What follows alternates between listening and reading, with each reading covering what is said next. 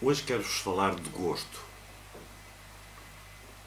A primeira vez que eu falei a alguém desta minha intenção de fazer um artigo sobre o gosto, especialmente o gosto na música, fui aconselhadíssimo a não o fazer por colegas meus etnomusicólogos da universidade, professores e alunos, alunos do melhor.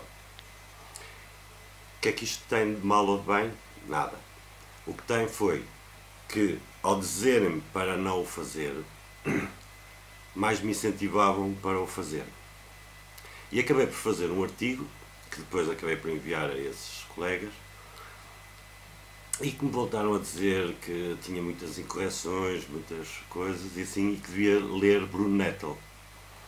E tinham razão. Tinham razão.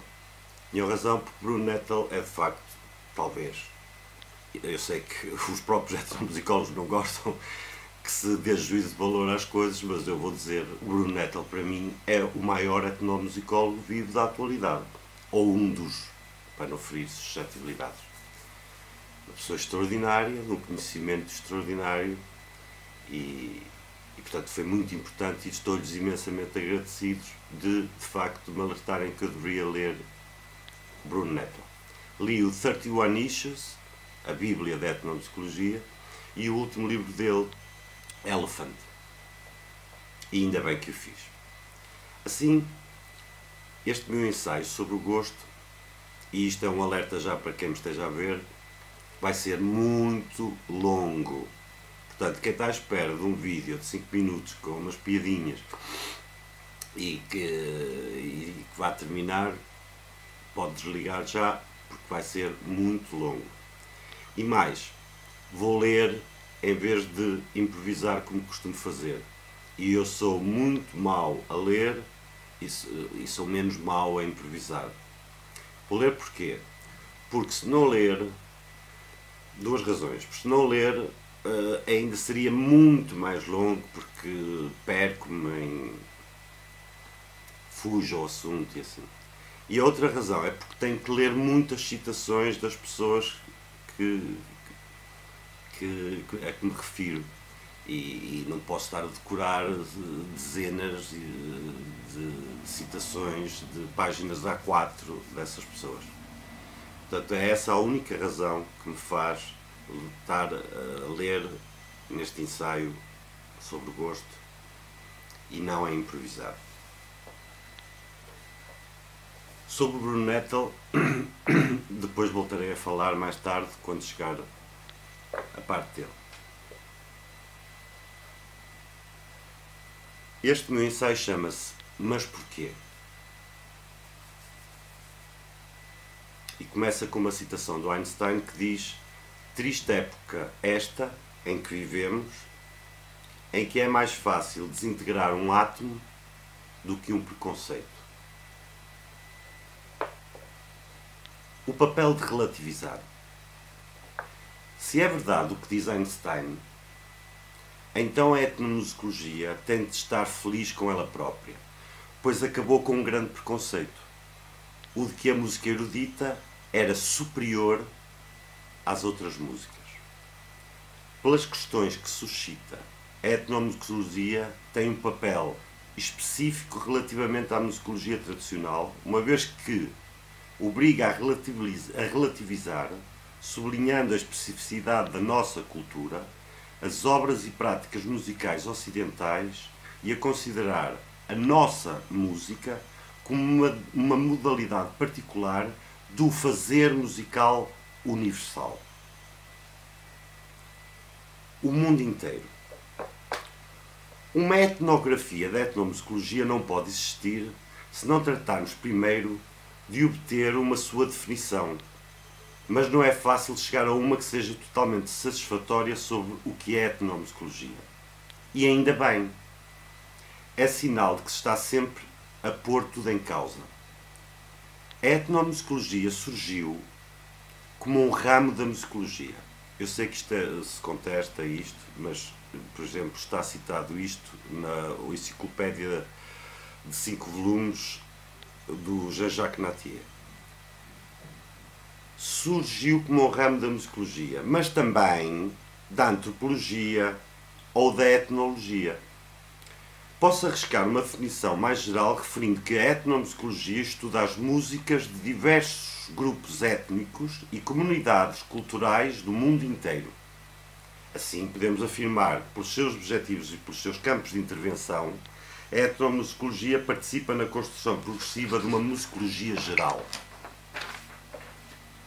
De bárbaros e selvagens a primitivos.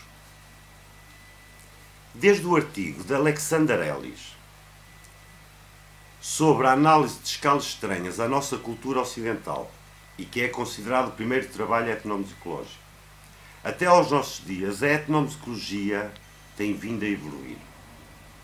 Desde os primeiros tempos em que os objetivos eram essencialmente de comparação, da Escola de Berlim, Stumpf, Abram, Hornbostel, até aos anos 1960, onde Viora e Sacre serão os últimos a arriscar a construção dentro de uma perspectiva evolucionista de uma história geral da música, incluindo as músicas de tradição oral, muito tem mudado nesta disciplina. E ainda bem. A etnomusicologia americana, de entre as duas guerras, era sobretudo descritiva e monográfica, mas a observação etnográfica foi ganhando cada vez mais um papel de relevo. Deu-se prioridade à investigação de campo em favor de lidar com gravações pré-existentes.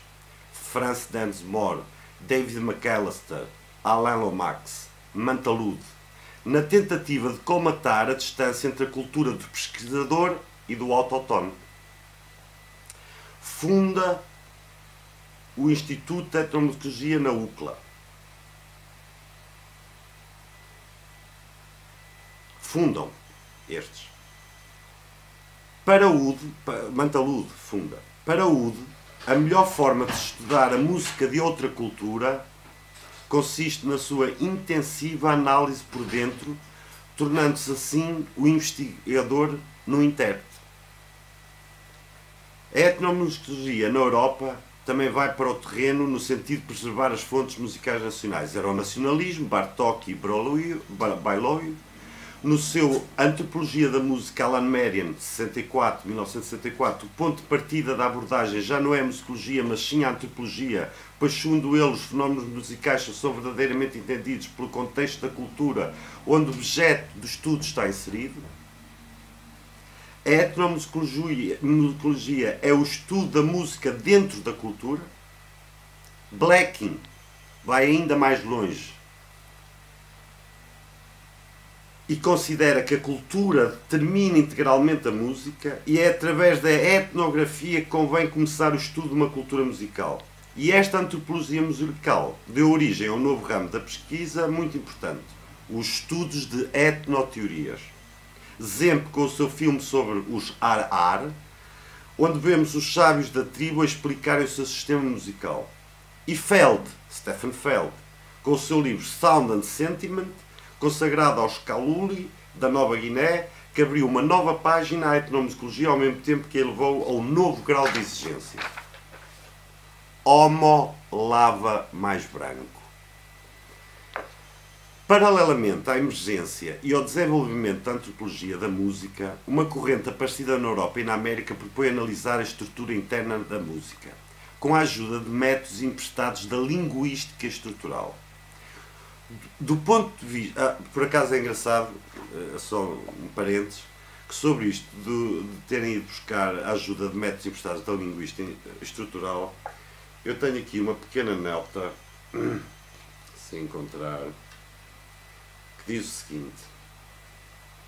Hum, o Chomsky, um dos maiores linguistas do século XX e XXI, mostrou que existe uma habilidade inerente ao ser humano, inata ao ser humano, para aprender linguagens. Uma universalidade. Hum?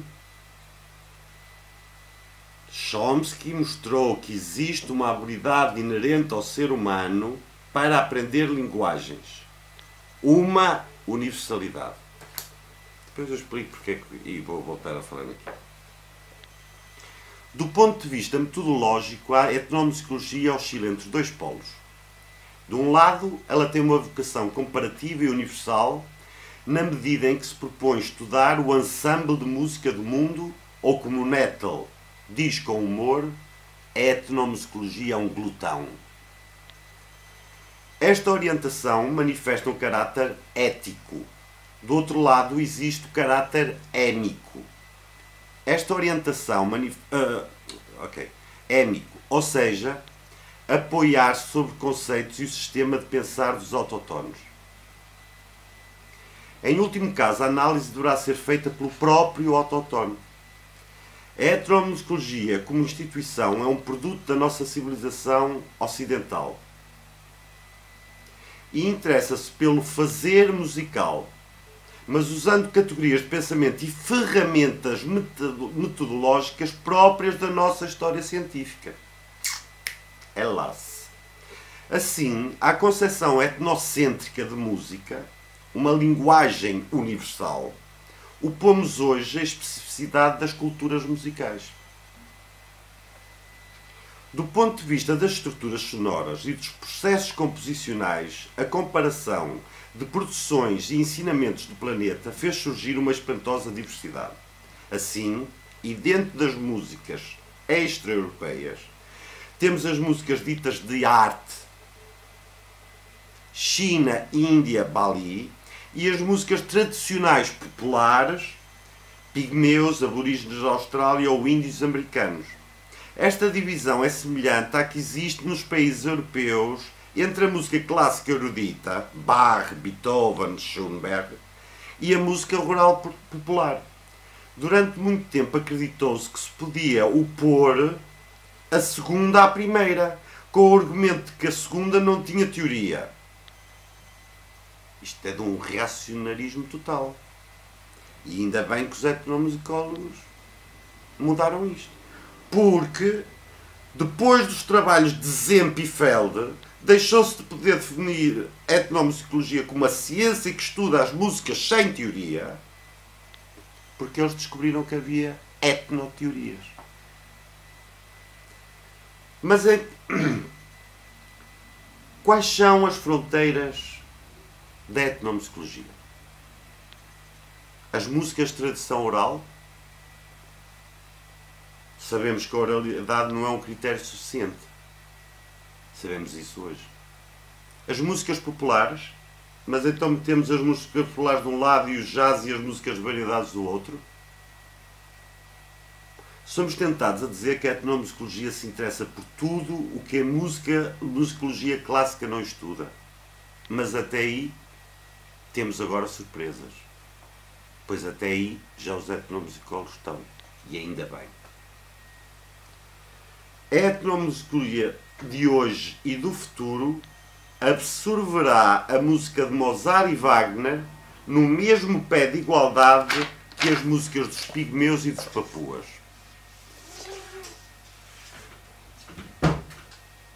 Baker falava, Baker falava-nos de uma música dos selvagens.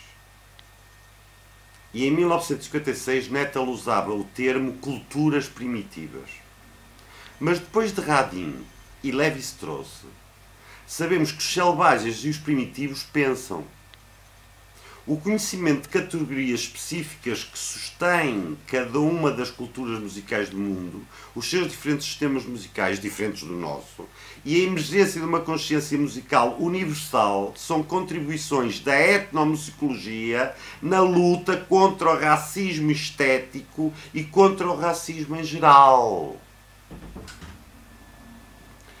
As condições materiais de um capitalismo tardio, a explosão das novas tecnologias de comunicação, a informática, a abertura do ciberespaço, as lutas pela reivindicação das diferenças migrações, estão em vias de mudar drasticamente o nosso meio de Aliás, não estão em vias, estão a mudar drasticamente o mundo. O colapso do comunismo e, em geral, eh, aqui, reparem, o colapso do comunismo. Eu, para mim, nunca existiu comunismo. Porque se existisse comunismo, não era aquilo que existia, porque o comunismo é contra aquilo que existia. Portanto, não houve colapso nenhum de comunismo, porque nunca existiu o verdadeiro comunismo. Talvez um dia. O colapso do comunismo e, em geral, o esgotamento de políticas baseadas na diferença de classes cede terreno a uma gama difusa de políticas de identidade fundadas sobre as diferenças étnicas, sexuais ou de género e de grupos normalmente humilhados e que lutam por uma igualdade. Assim, era de supor que certas ideias pós-modernas afetassem as perspectivas teóricas, os objetivos e as questões da etnomusicologia recente.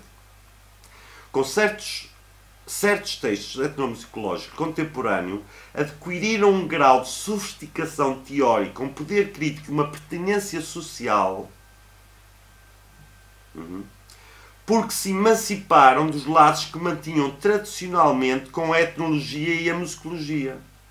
Estes textos, libertos de uma identidade disciplinar, buscam inspiração em teorias modernas do pós-estruturalismo, do pós-colonialismo e do pós-marxismo e da crítica feminina. Um sujeito social e linguisticamente descentrado e fragmentado. As ideias que estão na base de certo pensamento etnomusicológico atual provêm em grande parte da apropriação, talvez tardia, de teorias europeias de pós-guerra. A Escola de Frankfurt, especialmente com Adorno, as estruturas linguísticas antropológicas de Jacques Hobson e Lévi-Strauss, o pós-estruturalismo de Foucault, Deleuze, Derrida e Lacan, e o pós-marxismo de Althusser, a sociologia de Bourdieu e finalmente a nova história de Jacques Le Goff e Paul Veyne, para citar só estes dois. O pós-modernismo rejeita a ideia moderna de um sujeito racional unificado, em favor de um sujeito social e linguisticamente descentrado e fragmentado. Foucault, 2005. O pós-modernismo elimina o sujeito enquanto lugar e origem de discurso. Encontramos face a uma crise de representação ou de referencial, que tudo somado consiste em eliminar a identidade entre as palavras e as coisas. Foucault. Tal como a visão do outro das teorias pós-coloniais, a crítica feminista exige o reconhecimento dos direitos das mulheres, o direito de se representar elas mesmas, mesmas nestes domínios da vida, de onde foram excluídas por um patriarcado que lhes retirou as funcionalidades significativas e representativas, eliminando a sua presença histórica. É ver o caso de Hildegard von Bingen, que só agora em algumas histórias da música aparece, e, portanto, era um homem masculino que teria sido o primeiro compositor a assinar com o nome as composições no mundo ocidental. E hoje parece que não. Uma nova ciberética.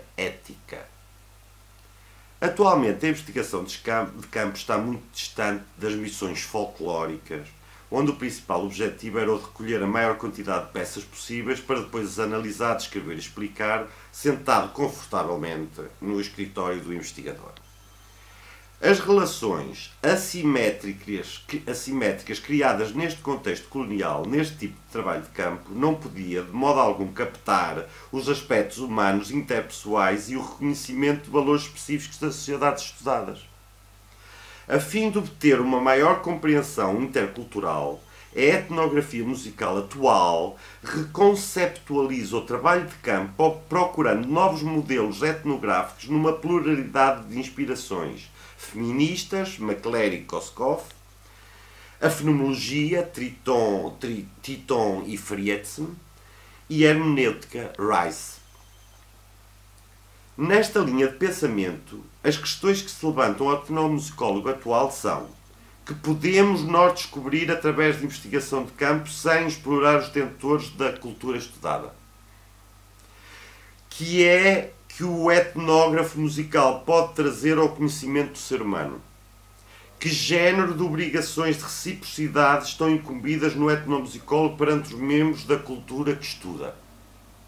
Guley refere que passar do estudo da música como objeto ao estudo da música como cultura conduz a praticar uma etnomusicologia reflexiva, na qual o investigador não se pode situar de fora da cultura como observador, de uma cultura objetivamente observável. É necessário que explique a sua posição epistemológica e o modo como se relaciona com a cultura estudada. O etnomusicólogo atual tende a integrar o seu discurso dentro de um contexto mais vasto de outros discursos, quer sejam antropológicos, sociológicos, filosóficos ou históricos. Pós-modernizar a etnomusicologia. A etnomusicologia abandonou porque acharam simplista e desnecessária as oposições entre popular e erudito, entre oral e escrito. E dentro dessa exposição propõe um grupo de métodos e atitudes diferentes como, necessário para o estudo dessas categorias musicais. Bravo! Ainda bem, fantástico. Estamos todos de acordo com isto. Até agora, creio eu. Viva a etnomusicologia! Eu sinto-me cada vez mais etnomusicólogo.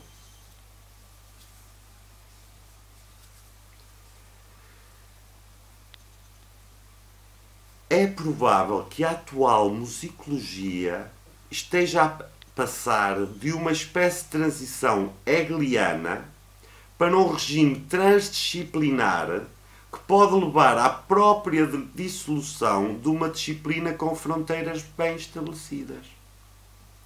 Pós-modernizar, assim, a etnomusicologia pode ser o seu fim. Isto agora não está aqui o que eu vou dizer, mas por outro lado eu penso que quem está à beira do fim pode ser a musicologia porque a etnomusicologia, tal como o Bruno Nettel é um glutão, e neste momento aborda, analisa e fala de tudo. Então se a etnomusicologia aborda, fala de tudo, está a fazer, como é aliás, musicologia. Então se calhar quem vai perder o emprego são os musicólogos. Ok. La musique c'est du bruit qui pense. Vitor Hugo.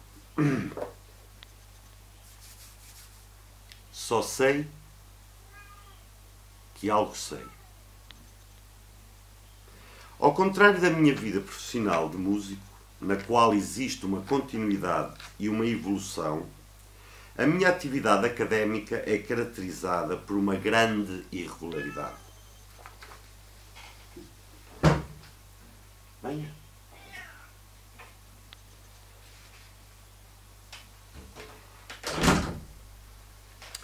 Após ter feito a primária e secundária, não concluiu o liceu, por causa do rock, o GNR, fiz, essas coisas. Tendo desistido dos estudos com o antigo sétimo ano incompleto. E assim mantive até 2008, onde decidi concluir os estudos e entrar para uma licenciatura.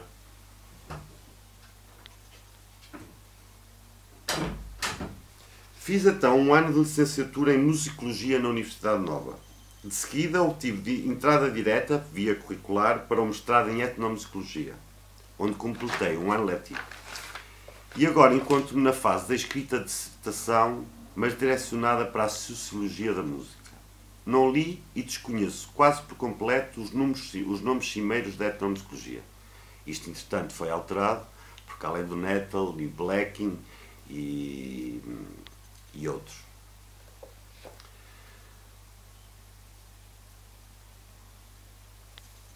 Assim, o meu conhecimento é o de ter lido livros ou ensaios sobre certas matérias que me interessavam e ter ouvido conferências, palestras ou conversas privadas falarem sobre certos assuntos musicais, musicológicos e etnomusicológicos.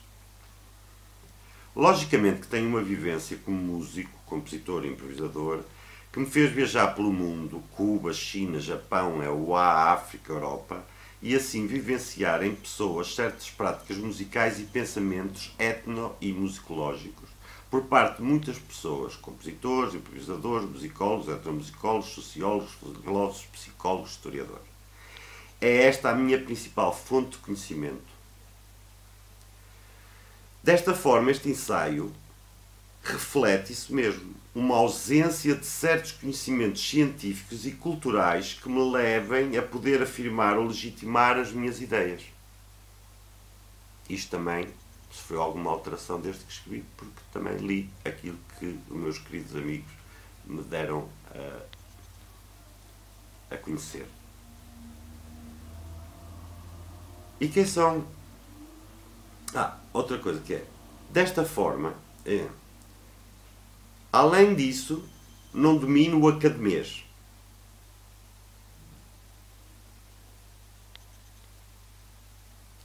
Nesse sentido, e por se tratar de tentar elaborar uma etnografia da etnomusicologia, decidi recorrer a pessoas que me pudessem dar aquilo que os sociólogos chamam de testemunho. Em etnomusicologia chama-se isso investigação de campo. Escolhi dois etnomusicólogos. Um é o meu querido amigo e professor António Tilly, que aprendo diariamente, segundo a segundo, com ele uma fonte de conhecimento, eh, é um, aquilo brota eh, é como um, um riacho e com quem sei que vou aprender toda a vida. E o meu colega Ricardo Andrade, mestrando em etnomusicologia da Faculdade Nova, considerado o melhor aluno de 2010 da Universidade Nova em, em musicologia, etnomusicologia. E decidi convidar o meu orientador e prezado amigo, sociólogo da música, Mário Vieira de Carvalho, professor de Sociologia da Música da, da Universidade Nova de Lisboa. Através de entrevistas por, ou, por e-mail, fui pondo uma série de questões ou frases para estes comentarem e responderem. O texto que segue é o resultado desse nosso debate. Quero aqui dizer que eu fiz isto de forma muito informal. Por exemplo, o, os tais e-mails que escrevi a, fazer, a pôr questões ao meu orientador Mário Beira Carvalho, ele respondeu-me de uma forma informal e se calhar nunca imaginou que eu estivesse agora a fazer um vídeo e a usar as frases que ele me deu para eh, este e-mail. E peço que tenham isso em conta. Da mesma forma, os meus colegas António Tilly e Ricardo Andrade, embora eu lhes tenha dito que ia fazer perguntas para o ensaio que estava a fazer, eh, se calhar supuseram que, que eu nunca o iria fazer e fiz. E também disseram que estão descontextualizadas. Ou seja, que eu retirei do contexto e que as meti como a meu bom jeito para levar a, meu, a, bom, a cabo aquilo que eu, as minhas intenções? Eu acho que não. Acho ponho as frases completas, não as trunquei e acho que depois as comento, mas acredito que possa fazer de uma forma melhor e por isso é que isto é apenas um esboço e não um ensaio já final. Dream Team. E realmente, quando eu digo Dream Team, espero que explique explicar isto. Dream Team era o nome que dava a um grupo de Silicon Valley que iam todos num Volkswagen antigo, quatro. E esses quatro, depois o Silicon Valley foi descobrir uns chips e coisas, graças a isso é que temos hoje computadores portáteis. Chamava-se Dream Team. E eu considero Dream Team esta equipa de pessoas em, com quem eu realmente aprendo. Por exemplo, na Esplanada Nova, da Nova, com o António Tilly, com o Ricardo Andrade e com o Pedro Félix, aprendo, aprendi mais do que lá dentro, quase em todas as aulas durante os seminários todos que lá estive.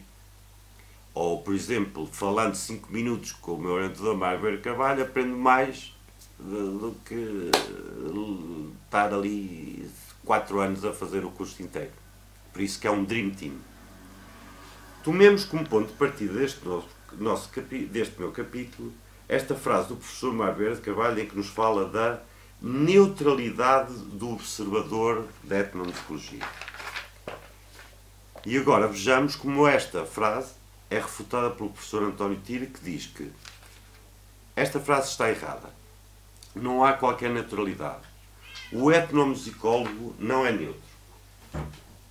Ninguém é neutro nem imparcial. O etnomusicólogo dá a sua explicação face ao objeto que estuda e assina por baixo. Por outro lado, o etnomusicólogo não se limita a descrever. O etnomusicólogo tende a observar para compreender e explicar. O etnomusicólogo não diz como o mundo deve ser, nem se a música está certa ou errada, e não prescreve uma solução para corrigir erros. O etnomusicólogo só se refere aos juízos de valor quando estes estão em jogo nas práticas musicais que estuda. Anthony Seeger. A componente ideológica da etnomusicologia faz sentir de outras formas, como a escolha do objeto, por exemplo, ver Malm e Wallis. Mário Vieira de Carvalho contrapõe com, e aqui repito, isto foi num e-mail informal para mim, e portanto com humor e de uma forma muito informal, contrapõe com o melhor é responder que eles, os etnomusicólogos, o que eles, etnomusicólogos, dizem sobre música, também só vale para eles. Não vale para Stockhausen, nem para si, nem para mim, nem para uma tradição de pensamento crítico que já vem dos gregos e sem a qual não existiria nem ciência, nem etno, nem universidades. Para que, afinal, a ciência, se a regra é a cada um o seu, as suas crenças? O problema é que os etnomusicólogos, quando estão doentes, não vão ao curandeiro, mas sim ao hospital. Contudo, em teoria etnológica, tanto vale a crença do médico diplomado como a crença do feiticeiro local, ou na Virgem de Fátima. A etnomusicologia é ela própria um fenómeno que carece de estudo etnográfico. Que é isto que eu estou a tentar fazer, uma etnografia da etnomusicologia. Esta isto agora já sou eu. Esta neutralidade ou não neutralidade tem para mim muita importância, pois é o objetivo deste meu ensaio, o de poder determinar se existe boa música ou má música, se há melhores ou piores músicos, ou seja, estou a falar de gosto e da subjetividade ou não deste. É possível afirmar-se de uma forma científica que uma música boa e outra música é má? Para Mário Vieira de Carvalho, a ciência é contextual. Deixou de existir a noção de um ponto de vista absoluto de verdade fora do espaço e do tempo. Muito mais em questões artísticas. Não se pode provar, portanto. Podemos é sair desse tipo de questões que não levam a lado nenhum. Se, se na música o social é o comunicativo, o que interessa é analisar as estratégias de comunicação e então aí podemos entrar com outras categorias. Por outro lado, o facto de toda a música ser contextual não significa que para a cultura europeia deva abdicar das suas próprias crenças e ou conquistas. Temos o direito de considerar Beethoven um filósofo, que nos diz por música da essência da vida e das coisas, do humano, e lamentar que haja quem não o ouça assim como lamentamos que haja quem não frequente o teatro de Shakespeare ou não leia Pessoa e confie no seu mundo ao preço certo ao Kim Barreiros ou às revistas cor-de-rosa. Se tudo é igualmente válido como cultura, para que estudar, para que aprender a ler, para que escolas, academias, etc. Para que afinal pensar, fazer ciência, qualquer tipo de ciência, a começar pela própria etnomusicologia? Conhecimento é poder, ensina Foucault. Logo, o estudo das culturas musicais ditas populares ou extra-europeias é um exercício de poder de uma ciência europeia chamada etnomusicologia, sobre aqueles que pretensamente não possuem o um método científico, por não terem adquirido o conhecimento crítico necessário, o treino legítimo que traz a chancela das universidades europeias ou da tradição europeia. O etnomusicólogo diplomado por uma universidade não reconhece a quem não tenha o diploma o treino legítimo para fazer ciência digna desse nome. Mas o que é que se passa com a música? Não é ela na tradição dita erudita europeia, aprendida nas mesmas universidades ou escolas superiores, não é ela resultado da aquisição de conhecimento crítico, não se subordina a ela a um treino legítimo, sem o qual o diplomado não desenvolve o métier exigido para fazer música digna desse nome? Nesse sentido, estamos numa posição de poder idêntica. Somos depositários do know-how musical que consideramos corresponder a critérios que outras manifestações musicais, sejam elas populares ou extra-populares, desconhecem. As posições são paralelas. Reconhecemos a etnomusicologia, a ciência europeia, um know-how que lhe permite colocar-se numa posição de conhecimento privilegiado relativamente a pessoas oriundas de qualquer cultura sem formação nessa área. Não há discurso, discurso émico, senão já como parte integrante do método etnomusicológico. Para haver discurso émico, é, é preciso um etnomusicólogo que o identifique como tal. Então temos também de reconhecer aos músicos e musicólogos, estudiosos da chamada tradução erudita europeia, um know-how que lhes permite colocarem-se numa posição privilegiada de conhecimento crítico sobre a sua própria música e de estabelecerem juízos de comparação e juízos críticos sobre todas as manifestações musicais às quais têm acesso. Isto para dizer que nem a música europeia erudita, nem a etnomusicologia podem escapar à sua origem e centralidade europeias. Achar que o relativismo dos valores só se aplica à música, mas não à ciência da música, neste mundo, neste, neste caso à própria etnomusicologia, é uma aporia, uma dificuldade lógica incontornável. Ou o relativismo é geral e então não vale a pena fazer ciência, nem portanto etnomusicologia, pois qualquer discurso cognitivo sobre música é legítimo e não há critério para determinar qual é válido ou inválido. Tudo se reconduz a uma questão de gosto. Ou então, se o não é, há que reconhecer também que o relativismo não pode valer somente para as manifestações musicais igualando-as, negando a possibilidade de critérios estéticos de análise crítica que permita aos, depositários do know-how musical europeu defender e promover aquilo que consideram ser os seus valores. A música digna desse nome. Comparável à ciência digna desse nome. Nesse sentido, sim, é possível, através da reflexão estético-filosófica, fazer falar a música, valorá-la, talvez nos ajude nesta discussão a contraposição entre cultura e civilização e reverte-nos para Norberto. Mário Vieira Carvalho remete-nos aqui para a ideia de especialista. Se alguém tem o know-how científico, pode e deve falar daquilo que ele sabe e estudou ao longo da vida. Para Vieira Carvalho, deve-se analisar as estratégias de comunicação, porque na música o social é o comunicativo, só deixando de lado as categorizações de boa ou má, de melhor ou pior.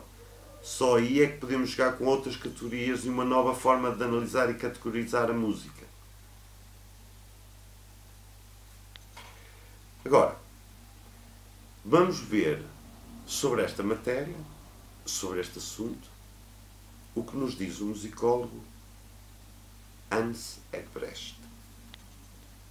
Diz o seguinte: Para julgar ou valorizar a música, há fundamentalmente, embora só no primeiro momento, duas instâncias: o juízo sensível e o juízo cognitivo, que por seu turno dependem respectivamente da compreensão sensível e cognitiva. O juízo sensível ou estético move-se com uma compreensão sensível ou estética, idealmente falando, para lá dos conceitos linguísticos assenta na impressão sensível, na sensação que opõe à música uma reação judicativa. Pode formar-se na total ausência de expressões. Pode resumir-se numa última palavra: bom ou mau. Como isto é belo, como isto é tão feio.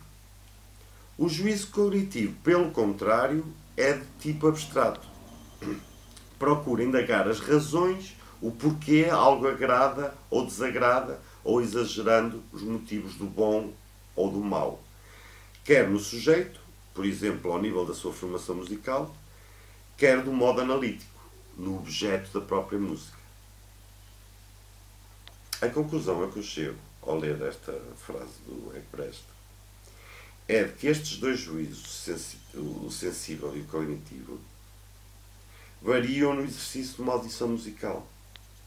Segundo Egbrecht, a faculdade de compreensão e valoração cognitiva de um leigo pode estar só pouquíssima desenvolvida, enquanto no conhecedor estas duas instâncias interagem.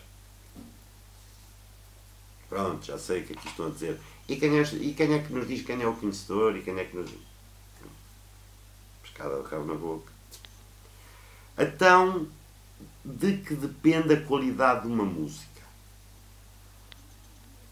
Para, para o Egbreste, o juízo sensível ou cognitivo sobre a boa ou má qualidade de uma música depende de muitos pressupostos, que se podem distinguir, em primeiro lugar, em subjetivos, também historicamente condicionados, e objetivos, íncitos na própria música. Ora, fala-se aqui de subjetividade. Será o gosto somente subjetivo? Vamos ver o que nos diz Egbrecht. Subjetivo é o gosto que, todavia, tem sempre também motivos objetivos, objetiváveis. Disposição, experiência, formação, idade, hábito, pertença a um grupo, etc. O juízo de gostos que decide sobre o bom e o mau pode modificar-se no plano dos seus motivos objetivos. Deste modo, por exemplo, a barreira que impede a recepção da música moderna ou da antiga pode reduzir-se ou até remover-se inteiramente através do hábito, a escuta e a compreensão cognitiva. Ou seja, o gosto educa-se. Seja pelo hábito, experiência, estudo, análise e observação, mas também pela compreensão cognitiva, segundo Everest. Para Mário Vieira de Carvalho, no gosto, as valorações são diferentes consoante o contexto. Diz-nos: o gosto é contextual, tal como a música. Traduz-se nessa avaliação do que é bom ou mau. O grande etnomusicólogo e meu prezado amigo António Tilly, quando lhe perguntamos se acha que o gosto se educa, responde-nos: Acho que se educa que se aprende, que se, que se simula e que se adquire. Já o bom gosto é mais difícil. Vemos aqui nesta resposta dele uma reticência, não sobre se o gosto se pode educar, aquele diz claramente diz que sim, e portanto evoluir mas apenas e unicamente na palavra, a palavra que o antecede, o bom gosto. Mas mesmo esse, para Tilly, não é inexistente, é apenas mais difícil. Pronto. Eu sei que quando ele aqui diz mais difícil, diz que deve considerar que não existe mesmo. Portanto, não existe essa coisa. Uh, there is no such thing as good taste. Mas como ele disse, eu posso tirar esta conclusão mas mais difícil de atingir ou mais difícil de educar? Hum? Esta é a pergunta que eu deixo. É mais difícil de atingir ou mais difícil de educar? Dei ao professor António Tilly a seguinte frase para que ele comentasse. Para mim, Bach é melhor que Tony Carreira. Mas isso é para mim. Pode não ser para outros. Logo, quando não existe uma forma de provar, segundo certa etnomusicologia, que um compositor é melhor que outro, não se pode pôr um juízo de valor. Esta foi a frase que eu dei para o professor António comentar. E a resposta dele é tudo correto, menos a conclusão da frase que deverá ser esta. Não se pode fazer um juízo de valor que sirva para tudo, universal. Isto é, não há um valor mas haverá, como se tem comprovado em mais de 100 anos de estudo da música em diversos contextos, vários juízos, dependendo dos valores que podemos afirmar serem culturais. Não há uma só cultura, logo não há um só juízo. E mesmo do grupo cultural, deve-se ter em conta o individual. Muito bem. Estamos de acordo completamente. Ou seja, Embora Tilly ache que no domínio da ciência há que conhecer os pressupostos científicos, isto é, o conhecimento produzido por outros e seu fundamento, acrescenta depois que uma ciência tem que fundamentar o seu raciocínio segundo métodos científicos.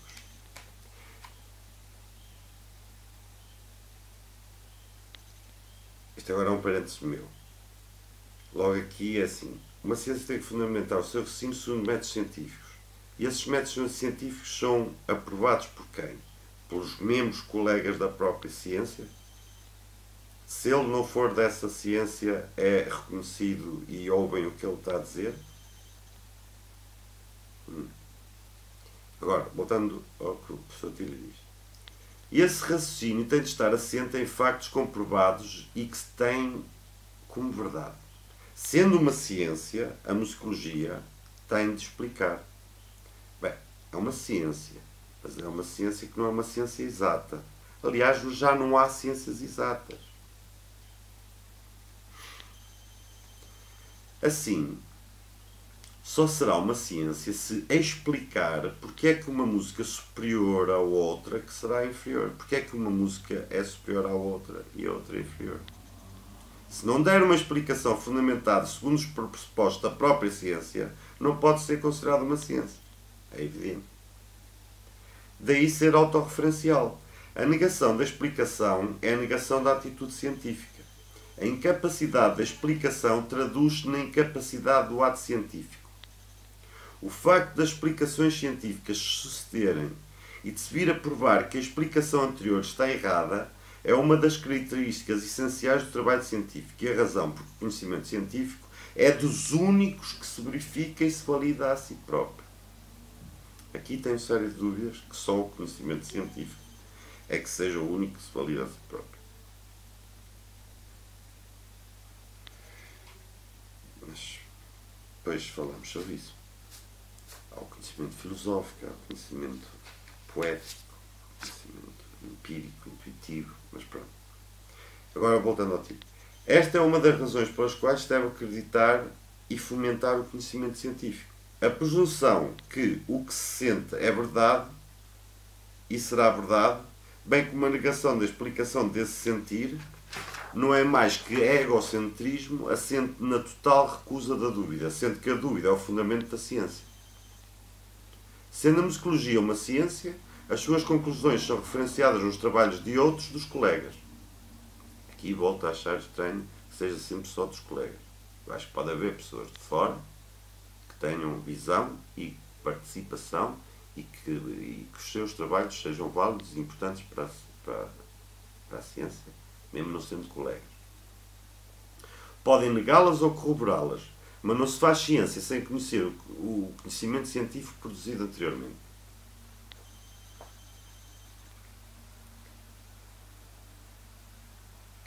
Isto é tudo verdade, também concordo. Tirando aquelas exceções. Por isso é que eu acho estranho, quando depois utilizo o Eggbrecht ou o Dalhaus para usar como exemplo de, da existência de boa e má música, eu acho estranho que vocês digam uma coisa ah, esses, já, já estão ultrapassados. E, digo, e o Hegel e o canto. Está aqui, estás a dizer, podem negar o que mas não, não, não, se faz ciência sem conhecer o conhecimento científico anteriormente.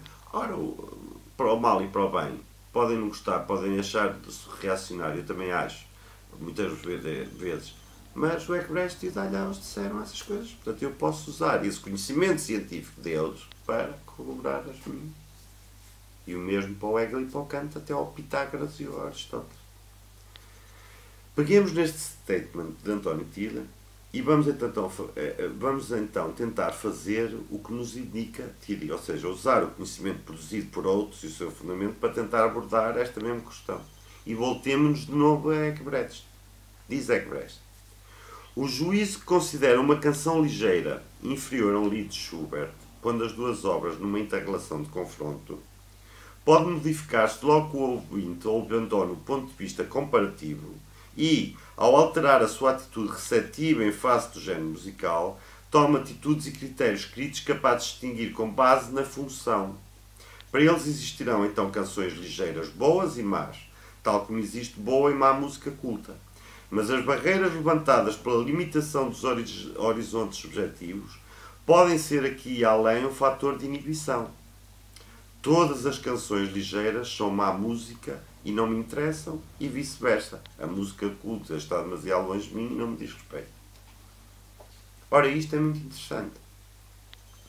Eu já, eu já tinha levantado esta problemática no meu livro A Musicologia na Era de Porquinho Velho, onde eu perguntava Será que o mau compositor da dita música erudita ocidental é melhor que um bom músico de rock simplesmente porque pertence a essa elite musical da qual a história da música foi feita até esta data? Não será esta visão das coisas uma espécie de apartheid musical? Por muito que nos custa afirmar, será que o maior representante português da dita música erudita ocidental, o compositor Emanuel Nunes, irá ter uma importância histórica ou musical maior do que, por exemplo, um compositor de jazz como Thelonious Monk? E seguindo esta ordem de raciocínio, será que um compositor como o Luís de Pablo, figura ímpar na música erudita espanhola, terá maior significado histórico musical que a de um guitarrista de rock como Jimi Hendrix? Isto, por exemplo, para a musicologia do, do futuro de agora. Diríamos não poder pôr as coisas dessa forma. São tipologias diferentes e, como tal, devem ser vistas e analisadas sob pontos de vista diferentes. No entanto, isto raramente acontece.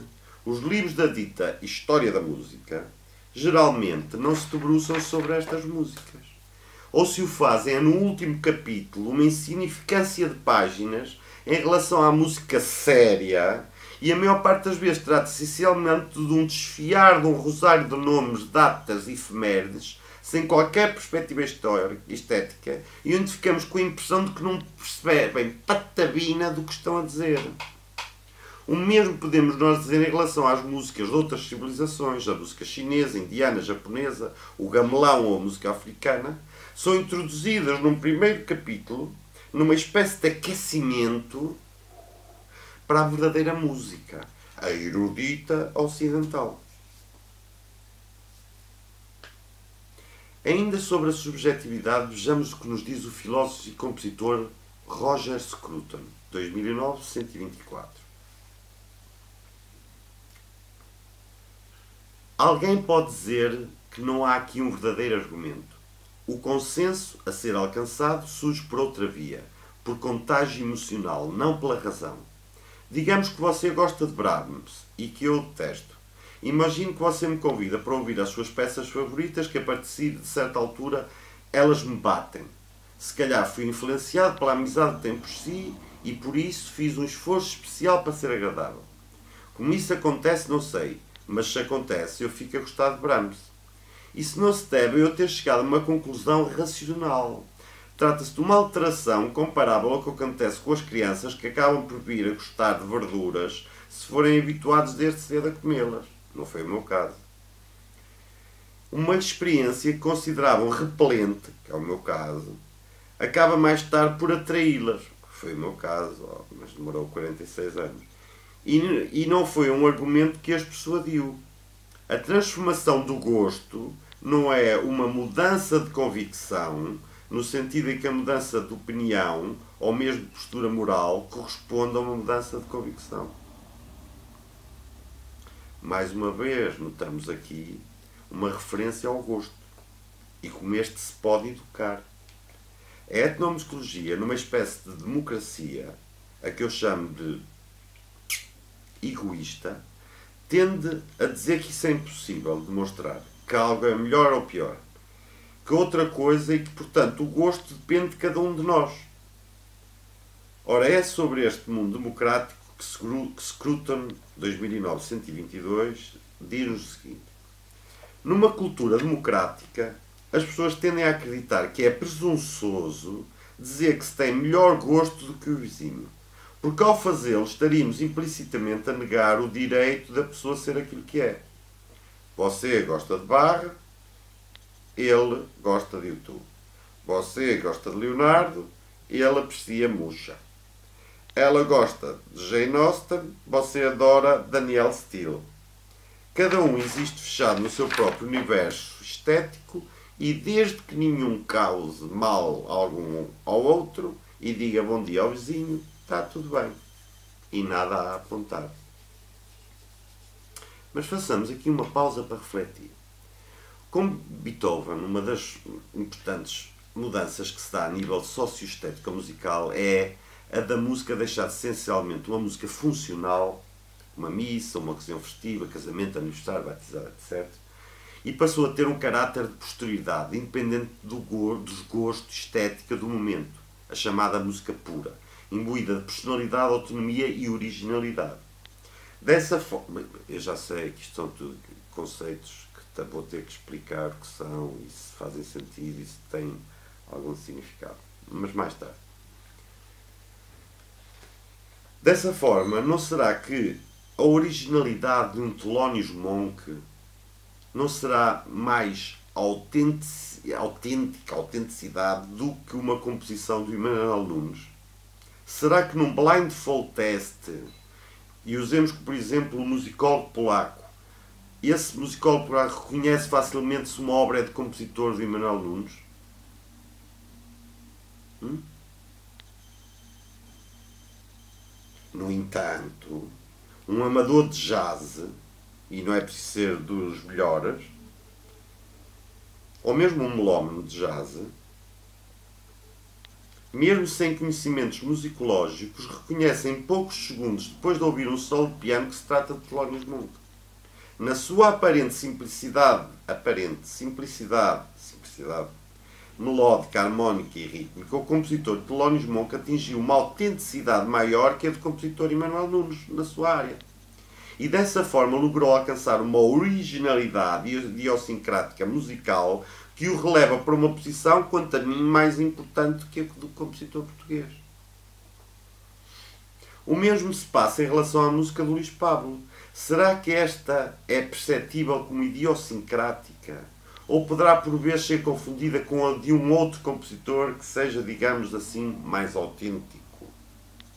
E não se passará o mesmo com o guitarrista rock Jimi Hendrix, ou seja, o desde possuir uma sintaxe musical idiosincrática, por mais insignificante que nos possa parecer, mas, mas mais autêntica do que a de compositor espanhol. Eu acho que sim. Mas era a minha opinião. Diz-se-á, por como diz o receio, que não se podem pôr as coisas assim, dessa forma. Que as, que, há, que as diversas músicas têm todas elas a sua importância na história, devemos tratá-las cada um no seu lugar, uma espécie de comboio com várias carruagens, como nos afirmou Xenakis, e que por uma questão de tradição, conveniência e bom senso, a carruagem da frente é da música erudita ocidental. Depois vêm as outras, podem ser etnográficas, logo a seguir a música popular, termo onde os musicólogos académicos reacionários metem todas as outras músicas, jazz, rock, rap, etc.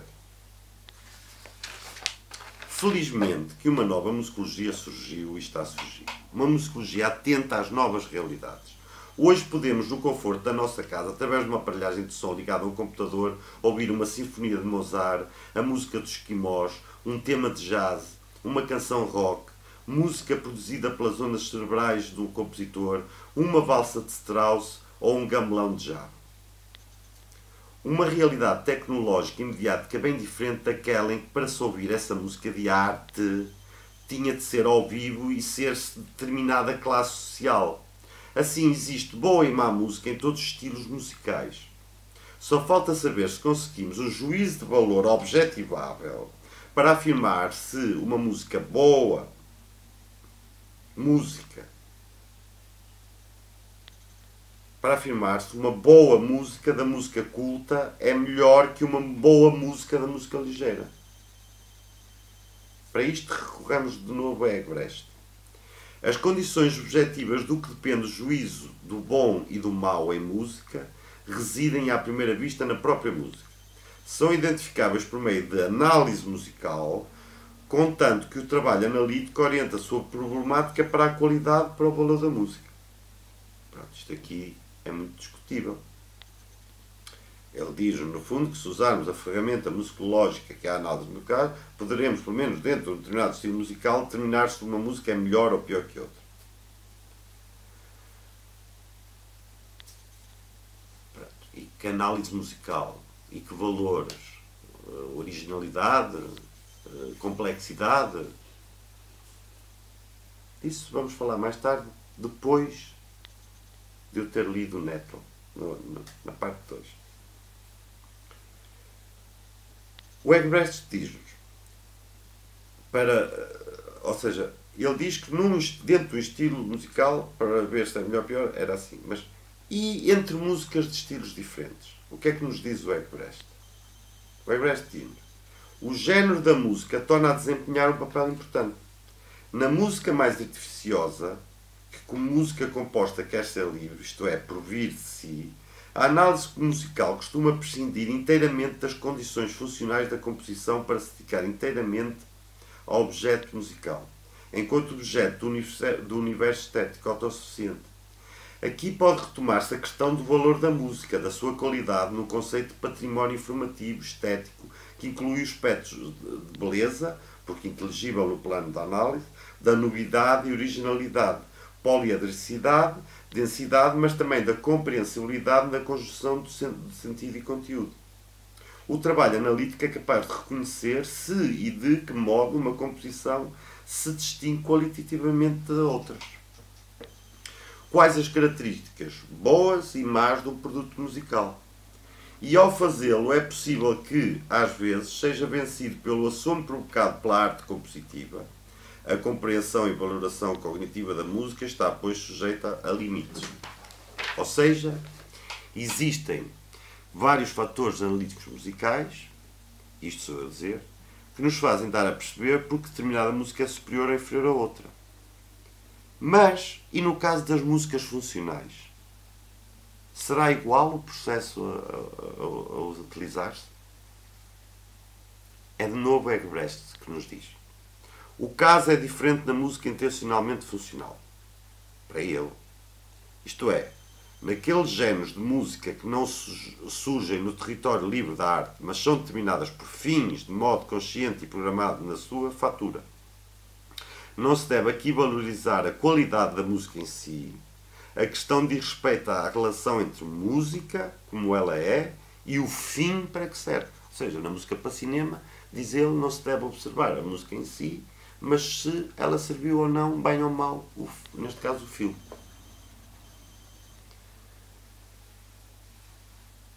E depois dá-nos o exemplo da música de salão no final do século XIX. E é um texto muito grande, não vou estar aqui a ler, mas portanto, para provar isto mesmo, ou seja, a música no século XIX era para agradar às senhoras e assim lá nos salões e não sei o quê, para se dançar. E portanto, se uma música cumprisse esse objetivo, se os pusesse a dançar, era música boa. Agora que começamos a entender as diferentes noções de boa e má música numa visão musicológica, passemos a ver de que forma um etnomusicólogo vê esta problemática. Dei a seguinte frase ao professor António Tira para comentar. Um etnólogo, etnomusicólogo, não tem de dizer se um músico ou música são melhores que a outra. Tem é de analisar a prática musical. Foi esta a frase que dei. Eis o seu comentário. Um etnomusicólogo estuda a música e os valores que a informam, isto é, que determinam e regulam a sua prática, isto é, a cultura para que ir-se, por exemplo. O etnomusicólogo pretende compreender os valores subjacentes às práticas musicais e explicá-las. De uma forma fácil, pretende responder à pergunta: por que é que estes tipos fazem estes sons? Logo, não tem de afirmar que música é melhor que a outra, nem tem forma de o fazer. Um etnomusicólogo não usa a cátedra, nem a ciência, para impor os seus gostos pessoais. Um etnomusicólogo também sabe que os seus gostos e os dos outros são o resultado de muitos fatores que, no seu todo, constroem a noção de cultura. Pode, e falo frequentemente, encontrar alguns desses fatores quando estuda as opções estéticas dos músicos e das práticas musicais que estuda. Pronto. Está aqui um relato do que é com o etnomusicólogo faz. E provavelmente estou de acordo. Aliás, eu já tinha dito isto logo no início do meu ensaio. Falei das revoluções e, e, e das evoluções na etnomusicologia. Mas, de certa forma, neste depoimento de Tiri, vemos que não existe forma de se mostrar que uma música é melhor que outra. Mas também observamos que ele nos diz que os etnomusicólogos estudam a prática musical, não a música em si. Assim, creio podemos dizer que não cabe aos etnomusicólogos, seja por desinteresse destes, seja pela forma destes pensarem a música, explicarem ou demonstrarem porque é que uma música é melhor e a outra é pior. Não é simplesmente o foro desta disciplina. Parece não ser. Portanto, se não o é, é natural que não o faça. Isto a aceitarmos como válido este comentário de António Tiri, que eu considero. Entendi então formular ao António Tiri uma questão relacionada com o filósofo Kant, com o que o filósofo Kant entende por senso comum. Diz-nos Kant: somente formulando a hipótese da existência do senso comum é que se pode pronunciar o julgamento do gosto. Desta forma, questionou Tiro com a seguinte pergunta: Acreditas no senso comum? E se sim, vê-lo como sendo universal? Tiro respondido da seguinte forma: Não se trata de acreditar no senso comum. O senso comum existe e é fruto do conhecimento empírico e não do científico. Acho que é melhor rever, está-me a dizer a mim, as definições atuais de ciência. Isso aprende-se nas universidades. Pronto. Eu não andei nas universidades. Não aprendi ainda. Qualquer conhecimento pode ter a sua validade. Ah, então. Obrigado, porque então já volto a entrar no jogo. O conhecimento religioso serve o bem-estar de muitos indivíduos. O senso comum, que Bourdieu reflete no seu conceito de doxa, é algo com que o etnomusicólogo trabalha constantemente. Exatamente por isso, os resultados da ação científica entram em conflito com os valores do senso comum. O conhecimento do senso comum é o ponto de partida para a ciência pós-iluminista, Descartes. É no questionar o que se tem como verdade, doxa, que nasce a atitude científica. Absolutamente. Para ti, o senso comum não é científico, mas o resultado no conhecimento empírico. Mas, por exemplo, Gianni Carcia acha que, na noção de gosto, ou seja, na noção de um juízo estético dotado de uma universalidade subjetiva e sentimental, confluem duas esferas, uma gnusiológica e outra moral ambas presentes na pré-história da noção de gosto, ou seja, na ideia de sensos comunes. Ora, uma gnoseologia não é nada mais nem menos do que uma teoria de conhecimento, a ciência do conhecimento. Realce neste comentário a palavra ciência.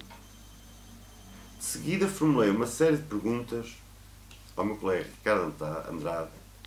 Perguntas essas que muitas delas só exigiam uma resposta do tipo sim ou não.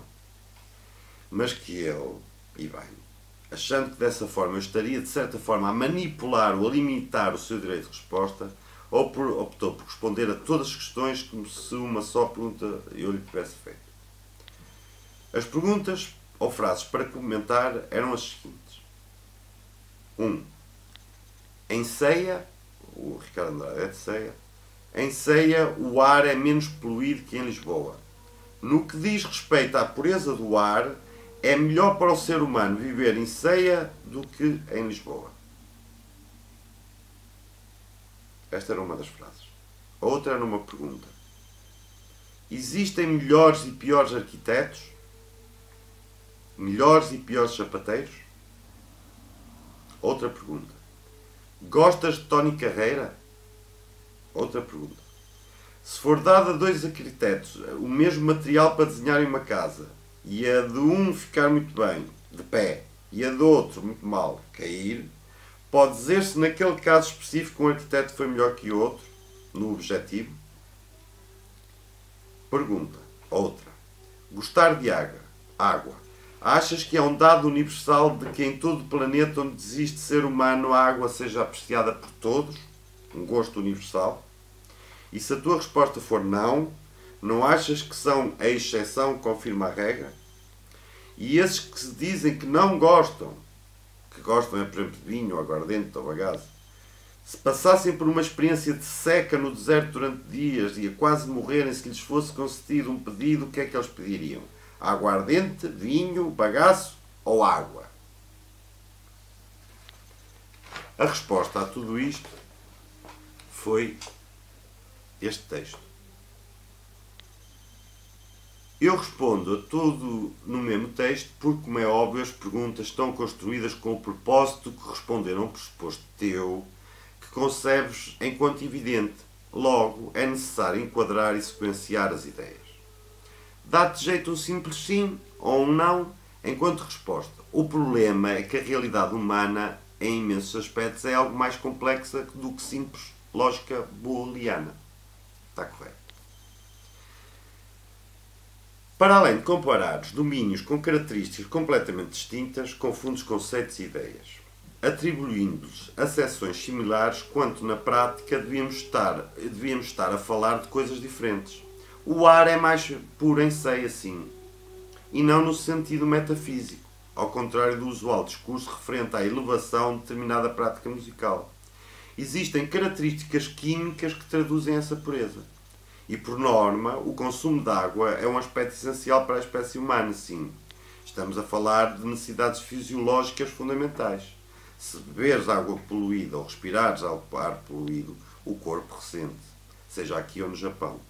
Logo, primeiro erro fundamental: comparar necessidades fisiológicas fundamentais à espécie humana a práticas ou obras musicais. Portanto, ele está a dizer que o meu primeiro erro foi eu estar a comprar, querer comprar coisas fundamentais ao ser humano, como a água ou, ou, ou o clima, com assuntos estéticos e, ah, neste caso, musicais.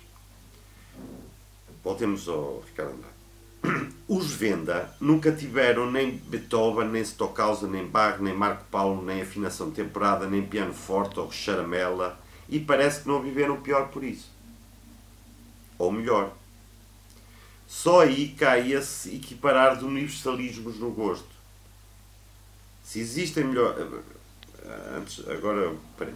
Portanto, ele diz que no meu texto consegue logo perceber que para estes índios venda tiveram Beethoven, Stockhausen, etc, etc, e viveram bem, sem as caramelas, sem os pianos, não sei o quê. Portanto, e que logo aqui o melhor e o pior caía por terra. Eu não vejo como. Eu não estou a dizer que os Venda são piores que o Beethoven, nem nunca direi. Direi é que dentro de uma tipologia musical, por exemplo, dentro dos Venda, deve haver melhores Venda do que outros Venda. E tu dizes, mas lá nos Venda não tem sequer o conceito melhor, todos são músicos, man is musical. Vamos já lá, quando eu falar do Nettle, porque até aqui ainda não tinha lido o Nettle. Então voltemos ao Ricardo. Se existem melhores arquitetos ou sapateiros, tu próprio respondes. Um arquiteto foi melhor que o outro no objetivo.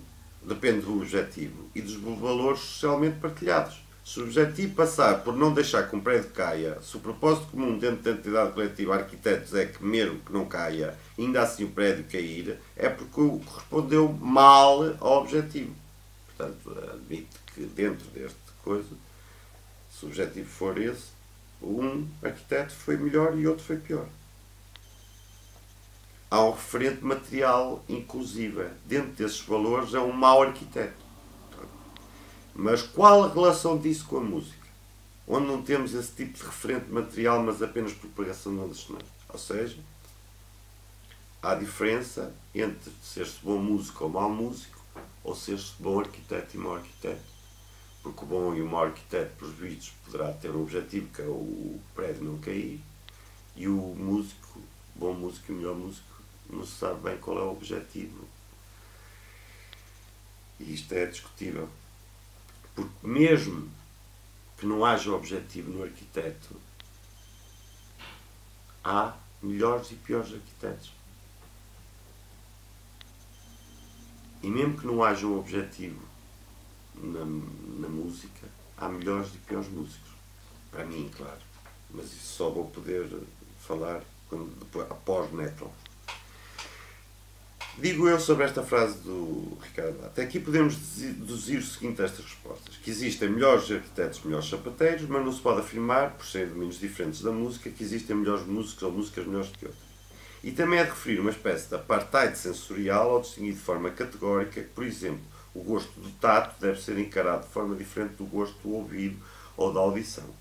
Ou seja, é possível provar que o leite biológico é melhor do que um leite carregado de aditivos transgénicos, mas já não é possível demonstrar que uma música é melhor do que outra. Mas Ricardo Andrade prossegue com é que se eu estiver a viver dentro de um prédio e ele cair, a probabilidade de eu morrer é substancial.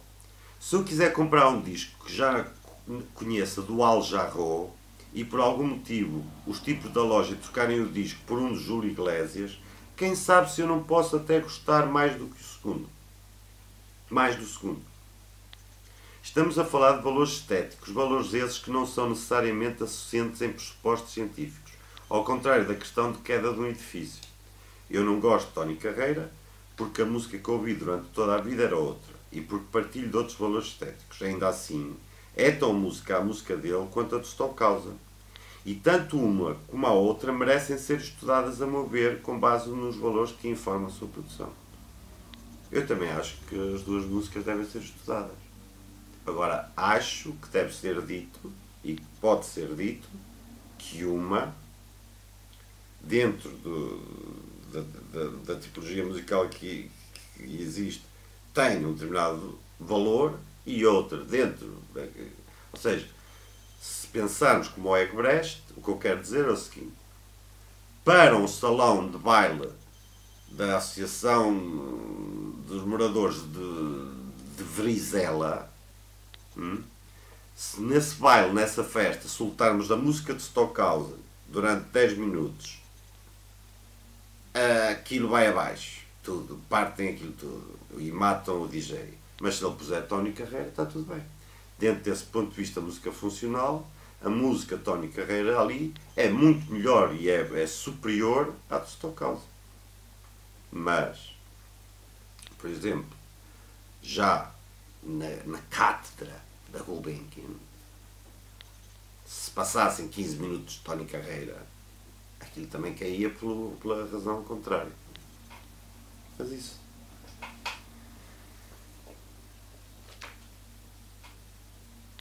Ele, quando diz esta frase anterior, eu, eu nunca afirmei que não se devia estudar ou analisar todas as músicas, ainda agora acabei de dizer que sim. Apenas questiono se não podemos elaborar de uma forma científica uma crítica ou um juízo de valor a essas músicas. E isto é que é o, é o problema desde o início do ensaio. Mas para Ricardo Andrade, luxo. Valores e propósitos até me parecem ser bastante bem correspondidos no caso do Tony Carreira. No objetivo, citando, em Portugal, é do melhor que há, dada a forte aderência de público. Sem objetivo e numa dimensão meramente abstrata e isolada, a equiparação referente ao caráter supostamente qualitativo do material é absurda. Como diz Bruno Nettel, 83, esse tipo de considerações partem sempre de pressupostos ideológicos.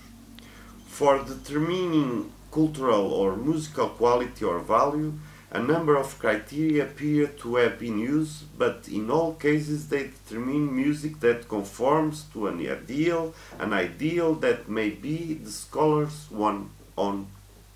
Como tal, lamento, mas a ideologia posiciona-se, a mover num campo oposto ao conhecimento científico. Esta é a opinião de Ricardo. uh, do Bruno Nettel e que o Ricardo usa para corroborar a sua opinião. O que acaba de dizer aqui Ricardo Andrade tem a ver com o que já abordei ao citar Egbrecht, na sua distinção de música funcional e música abstrata. Sendo que a primeira tem a função a cumprir e se esse objetivo for cumprido, essa música, por muito má que seja, tem o dom de, no caso concreto dos objetivos a que se propõe, funcionar e, portanto, ser boa. Isso já eu tinha dito. E concordo mas somente porque cumpre os objetivos a que se propôs. Mas continua Ricardo Andrade. O intuito do trabalho científico deve ser o de explicar e não o de prescrever. Se tu achas que Stone Casa não é melhor que Tony Carreira, tudo bem. Só que isso acontece contigo. E não com milhões de outras pessoas. Bem, cara amigo, também milhões. Milhões acho um bocado exagerado. Milhares, ok. Mas eu percebo o que é que é. Diz o Ricardo. A qualidade não é um valor intrínseco, mas atribuído. Não reside no material, só na cabeça de quem ouve. Isto, eu adorava tanto acreditar nisto e é sério, é uma pena não acreditar e não, não, não não é acreditar num, nesse, nesse trata é pena esta democracia toda eu, eu não, não conseguir. É pena porque eu acho isto fantástico, tudo o que vocês dizem. Concluindo, isto é meu. A ciência deve explicar pedagogia e não prescrever crítica. E, gosto, e gostos não se discutem. Ora, eu penso que se há coisas que se discutem são gostos. Vejamos o que diz G. de La Bruyère sobre esta matéria. Na arte existe um grau de perfeição do mesmo modo que existe um grau de bondade ou de maturação. Quem sabe identificá-lo e apreciá-lo tem um gosto perfeito. Quem não o sabe identificar e orienta a sua preferência a quem ou além dele tem um gosto defeituoso. O que significa que há bom gosto e mau gosto. E que, portanto, a discussão sobre os gostos tem fundamento. Trau, catrapau, pim, lançou os foguetes, fez a festa e tal. Fiz a seguinte pergunta ao António Tiri. De que forma podem os etnomusicólogos provar porque é que as suas crenças é que estão corretas e que são resultado de um pensamento científico? Eis a sua resposta. A maior parte dos etnomusicólogos fartaram-se de provar porque é que é necessário estudar a música como cultura. Basta ler os mais conhecidos e obrigatórios nas cadeiras de etnomusicologia. Marion, Blacking, Nettle, Seeger, T. Rice, Bowman, Myers. Aqui apetece-me perguntar: conhecidos e obrigatórios para quem? Quem determina que são, quem, quem são os autores obrigatórios? É que, da mesma forma que para uma pessoa, segundo Tírio Andrade, pode gostar de determinada música ou achar que certa música é obrigatório, outra pode achar precisamente o contrário. Outra questão que me ocorre é de que existem autores que não são da categoria da etnomusicologia e pronunciam sobre esta e sobre matérias etnomusicólogas, por vezes de forma mais original e com propostas inovadoras e com caráter científico. Como, por exemplo, Filipe Paul ou Levitson. Depois Tilly contra-ataca com uns, uns ditos anti-etnomusicólogos contra os ditos uns ditos anti-etnomusicólogos, afirmando que, ao contrário, os ditos anti-etnomusicólogos, que não serei eu, é que não provam que não é necessário estudar os valores culturais para estudar a música. Mesmo o Middleton, na sua crítica à etnomusicologia, mostra desconhecer os trabalhos mais recentes e vê ainda a etno como o estudo das músicas extra-europeias e não eruditas populares europeias a quem ainda lhe chama de folclore. Aliás, como poderás ler em qualquer enciclopédia, a terminologia tem refletido sobremaneira na sua própria ação, sendo muitas das vezes criticadas por isso. Mas eu digo isto tudo logo, eu, eu, eu disse isto logo, isto tudo, o elogio. Eu não, eu não posso ter feito um elogio maior à etnologia. Eu acho que eu acho que não há elogio maior à etnologia do que eu fiz no primeiro parte deste, da etnografia da etnologia deste meu ensaio e não, e não concordo absolutamente com esta visão. Comecei logo a dizer que já, não, já acabou esta visão do, dos fogos. Aliás, aliás, foram vocês, é, proto-etnomusicólogos, que chamaram de primitivos e bárbaros aos povos, folclore assim. Por isso é que eu digo depois a seguir. É exatamente o meu caso. Considero essa reflexão etnomusicóloga uma forma de olhar para o seu umbigo e de submeter a uma síndrome de pescada rabo na boca. Ou seja, levantam questões, o porquê, mas não dão respostas. No seguimento da sua resposta, Tile aponta agora as armas para os extratores da etnomusicologia. Diz Tile. Mas mais do que evidente é a estreiteza que constitui repetidamente o objeto da não etnomusicologia. Estudam sempre as mesmas obras, os mesmos compositores e não explicam, nunca explicaram porquê. Os, os, os músicos alemães do século XIX recuperaram o Bach e lançaram as bases para uma história uh, da música, que venderam como universal. Nunca o foi. Assim como a própria noção generalista europeia da música e dos direitos humanos, agora, que a Europa, a cultura ocidental, como alguns chamam, querem universalizar. Quer, quer, mas de facto não é. Quer porque pretenda prescrever mas do ponto de vista ontológico, o que existe de facto, e apesar da evangelização, globalização europeia do século XX, não há ainda qualquer universalidade nas práticas musicais, nem no conceito europeu de música. Muito menos de música boa, o que é boa, e música má, o que é má.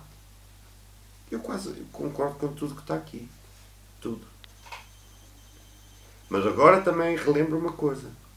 Quando eu vos apareci na universidade a dizer que ia fazer e que estava a querer fazer um estudo sobre música boa e má e tentar provar que havia música boa e má, vocês riram-se, vocês disseram não te metas nisso, olha que isso está ultrapassado, coisa, aqui, não sei o quê. E não é que logo 15 dias depois estava na minha, na minha casa de banho, na casa de banho põe livros para ler, aqueles livros que se calhar nunca eh, leria se não estivessem na casa de banho, e um deles não é que de repente abro e é o, o do Dalhaus e o Egbrest sobre, e, e olho para cima e vejo o nome do capítulo diz música boa e música má. Fogo! Até eu, 15 dias antes, estava a levantar uma dúvida se existia música boa ou música má e vocês estavam uh, uh, quase a dizer assim: por amor de Deus, não te metas nisso. E afinal havia dois musicólogos consagrados com um livro editado sobre essa matéria. E vocês disseram: não te metas nisso. Eu disse: mas eu encontrei este livro, mesmo assim, não te metas nisso. Não te metas nisso. Não te metas nisso. E foi o vosso, nosso Bruno Nettel que se meteu no último livro Elephant tem uma crítica ou um comentário sobre esse, exatamente esse capítulo sobre boa música e má música. Até eu estava assim tão errado, tão louco. Até o Bruno Nettel fez um artigo no último livro dele sobre esse livro e sobre esse capítulo que eu disse ter descoberto, é porque achou importante. Mesmo que seja usá-lo de forma, pensam vocês, contrária à minha. Ou seja, ele usa para, para dar de comer no Zegbrecht e Dalhaus, e muito bem, e que eu usaria o Dalhaus e o Zegbrecht para chegar à, minha, à minha fonte. Não. Não é, não é bem assim como vão ver, porque eu li o Nettle agora. E portanto não é bem assim. Não é bem assim em todos os sentidos. No meu e do próprio Bruno Neto. Por isso é que eu vos gravo, porque são os únicos que andamos assim, mas na maior. Porque é daí, é disto que nasce a coisa boa. Voltamos aqui à boa e má música. Vejamos então o que tem um musicólogo como o a dizer sobre este assunto, que para Tilly não existe. A boa e má música, na linguagem corrente, cujo testemunho não deve ser subvalorizado pelo historiador, não correspondem de modo algum às obras ou às realizações musicais conseguidas ou malogradas. Uma canção de sucesso que, segundo as normas da indústria do espetáculo, é uma peça bem feita, pode ser igualmente incluída do ponto de vista da cultura estética na má música. E inversamente na estética, que foi marcada pela burguesia culta do século XIX, uma ópera fracassada, mas sem mácula enquanto composição, pertence sem mais à boa música, embora tenha errado o seu alvo. Mais uma vez, o aspecto da música funcional. Mas é interessante. Mas outra vez a jogar com aquilo da música funcional. Mais uma vez, vimos aqui a distinção entre os objetivos a que se comprometem as obras musicais e a sua qualidade, como já tínhamos visto em Equebrecht. Deste modo, Dalhaus considera que, no conceito de música boa ou má, cruzam-se aspectos técnico-compositivos, estéticos, morais e sociais. E a tentativa de os considerar em separado é inevitável, se prender, demonstrar as suas interações. Aqui concordo imenso. Portanto, ele já fala também dos sociais, estéticos, morais e não só a análise técnico-compositiva. E dentro dos sociais já está também o campo antropológico e sociológico assim. Portanto, eu concordo no sentido que, no, assim, oh, porque é que esta música é melhor que a outra? Ah, porque é mais complexa. Complexa? Mas complexa para quem? Não, não, não é só. É, tem que ser mais. E é o que ele diz. Tem que ser uma interação destas coisas. Não é só dizer é complexa por isto, isto, isto original por isto, isto, isto. E, coisa, e, e depois assim, ah, mas mesmo que tu proves que é original, há, há tribos que, não, que isso não lhes diz nada. Vamos já lá, vamos já lá. Eu até aqui ainda não tinha lido o Nettle, peço desculpa. Com juízo que uma peça está mal composta, não se visa em, em geral em apenas uma acumulação de infrações às regras compositivas vigentes, mas um modesto nível de forma. uma melodia que se ouve como banal, uma estrutura ritmo-sintática que se aprende como estereotipada, mas sobretudo uma falta de diferenciação nas relações entre as partes, que origina ao mesmo tempo uma carência de coerência interna, já que a integração é o correlato da diferenciação. Dificilmente se pode negar que as possibilidades da análise estrutural de mostrar a qualidade estética estão sujeitas a limites severos, mas que tal não deveria induzir a deixar de a usar. Isto é o que diz o Dalhouse. Vemos aqui neste comentário, creio eu, como se pode demonstrar de um ponto de vista científico a dicotomia entre boa e má música. Existem limites severos, mas isso não deverá ser impedimento de os não utilizar, no sentido de mostrar a qualidade estética. Eu consigo entender e acredito que alguém que goste de Tony Carreira, ao ouvi-lo, possa passar por uma experiência emocional e sensorial semelhante a alguém que gosta de Stockhausen e escuta uma obra deste.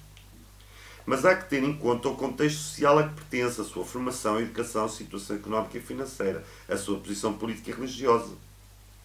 Segundo Bourdieu, o gosto de uma pessoa por música está intimamente ligado com o seu extrato social e background. Bourdieu classificou o gosto em três categorias diferentes, sendo que a primeira é legitimate taste, legitimate taste, alguém que escolhe ouvir música clássica ou erudita. Bourdieu acredita que as pessoas com este gosto são mais compatíveis socialmente com as classes dominantes. Deve ter feito estudos sociológicos nesse sentido. A segunda categoria é o gosto middlebrow, que ele chama de middlebrow. Este gosto é uma média entre os dois extremos, o lado mais legitimado da música popular. Não, este gosto é uma média entre dois extremos. O lado mais legitimado da música popular, é o middlebrow. A terceira categoria é o popular taste. O gosto popular refere-se a pessoas que gostam de certa música consoante aquilo que a televisão ou rádio lhes dá a ouvir. Alguns chamarão este gosto de um gosto não refinado. Bourdieu acredita que, por exemplo, professores interagem melhor com crianças que possuem o gosto legitimado e que o gosto está ligado às classes sociais. Assim, de acordo com Bourdieu, Bourdieu, quanto mais alta for a classe de um estudante, mais essa pessoa tem a possibilidade de ter sucesso escolar. Isto diz o Bourdieu. E por falar em universidades e as academias, voltemos de novo à opinião de Scruton. Segundo Scruton. Agora nas universidades vão dizendo-lhes que todas as obras-primas veneradas do passado podem ser ignoradas impunemente que as novelas televisivas têm tanto valor como Shakespeare e que Radiohead se iguala a Brahms, uma vez que nada é melhor do que nada e que toda a pretensão ao valor estético é vazia. Este argumento, claro, afina pelo mesmo diapasão que as formas de relativismo cultural em voga e tende a ser o ponto de partida dos cursos universitários sobre estética e a maior parte das vezes o ponto pelo qual eles terminam. O bom gosto é tão importante na estética como no humor, mas o gosto é tudo o que interessa. Se os cursos universitários não começarem com esta premissa, os estudantes terminarão os seus estudos de arte e de cultura tão ignorantes quanto começaram. Está a ver? Só um parente. Isto é o que eu penso que certa etnomúsica, certas coisas que vocês uh, dizem, que eu percebo, que entendo e que até gostava de, de, de, de, de, de que elas se entranhassem em mim, eu sinto que está qualquer coisa errada. E sentia até ler o Nettle, agora já não sinto. Estava qualquer coisa errada. Quando se trata de arte, diz Scruton, o juízo estético diz respeito ao que devemos e não devemos gostar. E defenderei o deve. Tem aqui um peso moral, mesmo que não seja exatamente o imperativo moral cada vez se vê mais professores universitários a concordarem com estudantes que lhes chegam afirmando que não há distinção entre bom gosto e mau gosto, mas apenas entre o meu e o teu gosto. Altamente democrático, essa do meu e teu gosto, mas eu também sou como o Scruton. Não acho isto bem. Ou melhor, acho, acho fantástico, acho que era fabuloso mas não pode ser posto assim desta forma. Também não estou de acordo e não estou a dizer que sou do adorno de olhar o Zé Presta. Aliás, já fica já bem claro, mesmo antes de falar do Neto. Eu, eu identifico-me mais como uma pessoa como o Bruno Nettel, com uma, com uma abertura e, um, e uma visão dele, do que com um Dalhaus ou Everest, que por vezes até considero reacionários completamente. Fique bem já claro.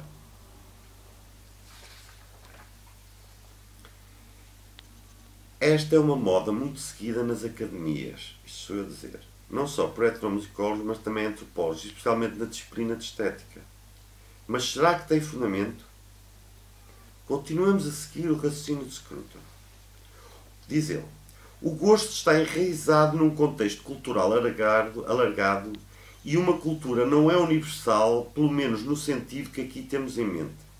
Toda a razão de ser do conceito de cultura é definir as diferenças significativas que existem entre as várias formas da vida humana e a satisfação que as pessoas retiram delas.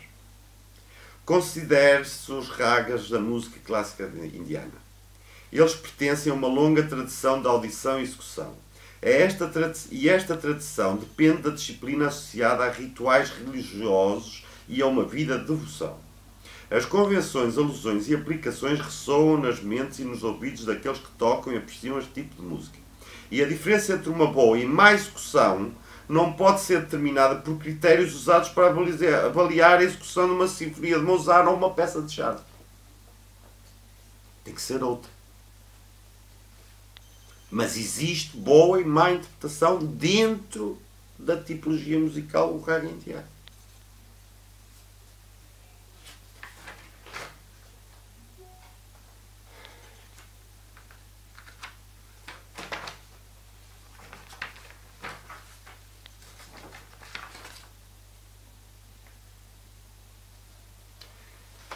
Só um segundo que vou ver em quantos minutos é que vai o vídeo.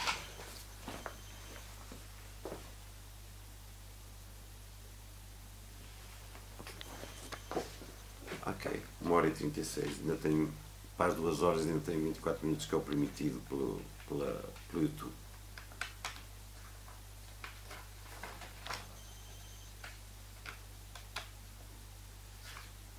Estou aqui a passar à frente algumas coisas.